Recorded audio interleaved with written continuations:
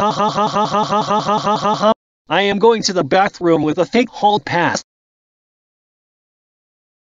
What the? It's locked. Who's in there?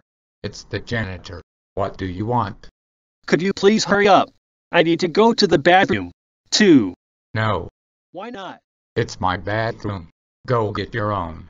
Come on, hurry up, toilet man. I haven't got all day, you know. What did you just call me? I called you the toilet man. Go to the principal's office right now. Hello, Joey. What brings you back here this time? And why are you crying like a baby? I call the janitor the toilet man. Joey, you got home for call janitor the toilet man. That's it, you are expelled. Joey we can't believe you've got expelled from school for calling the janitor the toilet man and using a fake hall pass. That's it. You're grounded, grounded for life. That means you don't get to go to college. No scholarships, no intuitions, no college funds, no degrees, no diplomas, and no graduations.